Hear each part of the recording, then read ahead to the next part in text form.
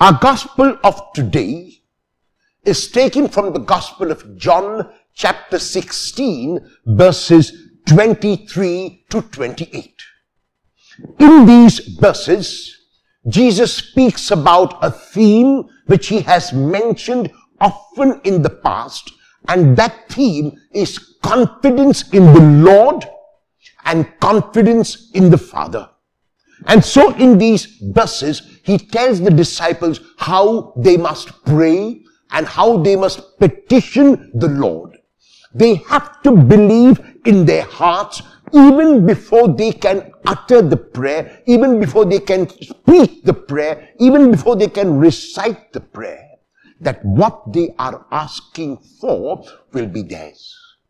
In the Gospel of Mark chapter 11, verses 22 to 25, when Jesus gives his disciples a lesson on prayer, this is what he says, that when you pray, believe that what you are asking is already received and it will be yours. In the Magnificat, which we find in the Gospel of Luke chapter 1 verses 39 following, our Blessed Mother gives us an example of this saying of Jesus that we must believe before we receive what we are praying for when she uses verbs in the past tense to describe future events. The events that Mary speaks about have not yet occurred and yet she speaks about them by using verbs in the past tense as if they have already occurred because of her confidence, because of her trust, because of her faith in the Lord. The Lord is telling his disciples in the gospel text of today that they must have the same confidence. There are times in our lives when our prayers are answered. And the reason why our prayers are answered is because God's will and our will coincides.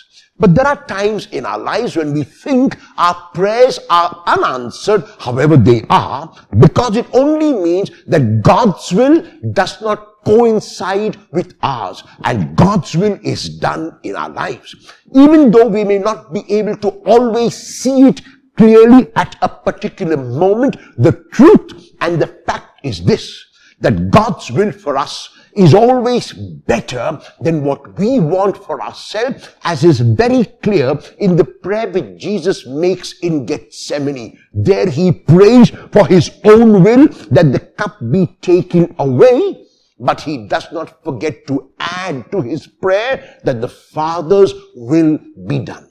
We know that the cup was not taken away because it did not coincide with God's will and Jesus had to go to the cross. But we also know that it was better for Jesus to go to the cross because only then could he be raised. And so we hear the Lord and we go to our prayer with the same confidence and trust in the Father and in Jesus at the end of every prayer, we must never forget to add, as the Lord has taught us, not my will, but yours be done. I am fond of telling people that there has never been a prayer of mine which has been unanswered. And the reason why this is so is because at the end of every prayer I make, I add, not my will, but yours be done. Sometimes the Lord's will and mine coincides, and my will, and therefore the Lord's will is done. At other times, the Lord's will and my will are different, and the Lord's will is done. In every case, however, my prayer is answered because I add, not my will, but yours be done. Will you at the end of every prayer you make, add also, not my will, but yours be done.